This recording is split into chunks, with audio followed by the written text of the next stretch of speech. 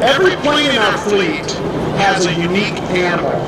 Well, I understand that you're asking us to have a new animal, a marmot.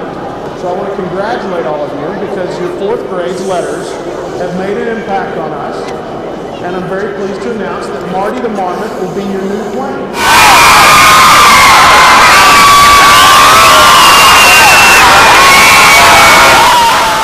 It was about three years ago we talked about um, how to motivate our kids to be a little more excited with letter writing, specifically persuasive letter writing. And we came up with the idea about writing letters to Frontier. And we knew that they, you know, release new planes every so often. And we thought that, that might be a great thing to uh, persuade them to put our marmot on, on the tail of an aircraft.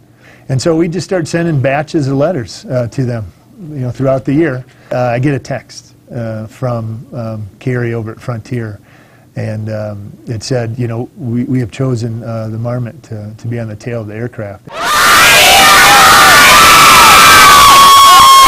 It's real important that, that you, if you want something done, that you put pen to paper, you write, you write letters. Things can happen for you.